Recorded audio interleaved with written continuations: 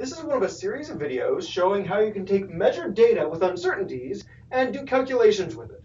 And for this particular example, I want to ask the question in this system, what is the momentum of mass 1 before this collision in this picture here? What is its initial momentum? Momentum is the product of mass times the velocity. And so this is an example of a product or quotient involving uncertainties.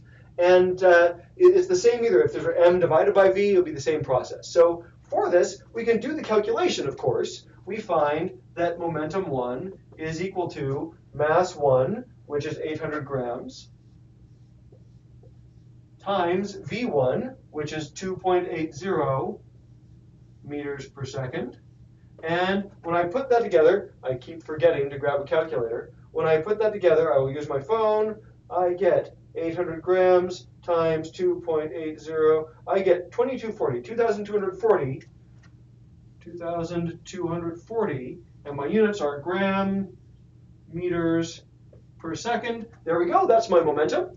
And now I need to figure out the uncertainty in this momentum. Well, okay, so with sums and differences, I was able to compare the uncertainties, the absolute uncertainties in the two quantities. Up here, I compared these two, and I could compare them because they were both in grams. I could compare them. Here, I can't even compare these. One's in grams, one's in meters per second. That's comparing apples and oranges. I can't say which one's bigger. They're different. Uh, you know, which is bigger, three or blue? It doesn't make sense, right? So, so I need something else to do. The rule for products and quotients is what you compare are the relative uncertainties. The percent uncertainties.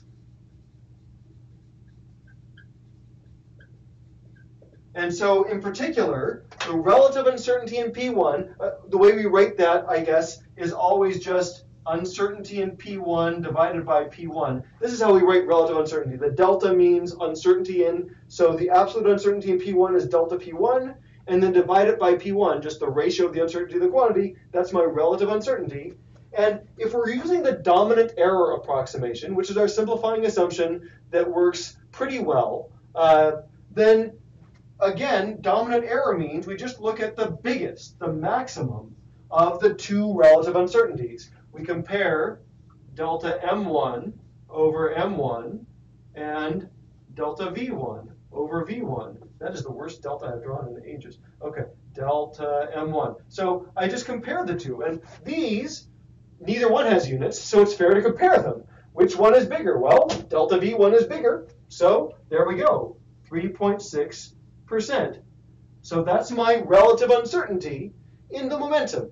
And I should say that, as usual, dominant error is an underestimate. It's always an underestimate. Uh, but because this 3.6% is substantially bigger than 1.3%, more than twice as big, it's actually going to be a pretty good approximation. Uh, I would be surprised if uh, if this came out to be if the, the if the full professional error propagation for this came out to be more than four percent or so. Uh, so it would round to one to one sig fig. It would round to the same percentage. So this is this is a, a very solid estimate in this case, and uh, that's the relative uncertainty. And then if I want to know the absolute uncertainty, I just do I just multiply both sides by p1. I do delta p1 equals well, I guess I know what p1 is. It's it's 2240 gram meters per second times 3.6% is 0.036. And uh, again, we need to pull out my fake calculator. Uh, I've got 2240 times 0.036. I get 80.64. Well, uh, I'm going to round that to just 80. It would round to 81 if we rounded to 2 sig figs, but it starts with an 8. So I'm just going to round it, round it to, this is approximately 80 gram meters per second. And so I would report my P1 as 2240, 2240 gram meters per second, plus or minus 80 gram meters per second. And again, this is our standard thing. I've rounded this to one sig fig since it doesn't start with a one or a two. And then I keep the same number of digits and round to the same number of digits here to the leading sig fig there. And there we go. That's my uncertainty. That's my momentum with its uncertainty. Absolute uncertainty here, relative uncertainty there. That's how you deal with uncertainties in products or quotients if you're using the dominant error rule.